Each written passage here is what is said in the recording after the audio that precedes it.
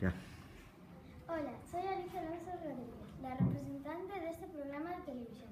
Hoy vamos a entrevistar a Julio Verne, un, un escritor francés con mucha fama.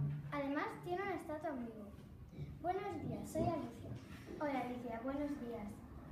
Vamos a comenzar la entrevista.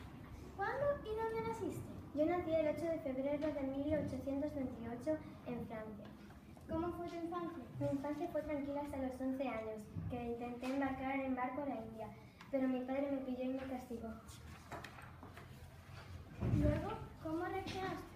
Yo seguía pensando en la aventura y en explorar muchos lugares. Más tarde viajé a París. ¿Dónde se te ocurrieron las ideas para hacer tus libros? En el colegio empecé a hacer poemas e historias de aventura. ¿Viajaste a algún sitio? Sí, a Inglaterra, Noruega y Escandinavia. ¿Te casaste? Sí, con una viuda llamada Hebe Dufresne, que tenía dos hijas y luego nosotros tuvimos a Michel Verne. ¿Con quién hiciste tu primer libro? ¿Cuál fue? Con un escritor que conocí. Hicimos cinco semanas en Globo.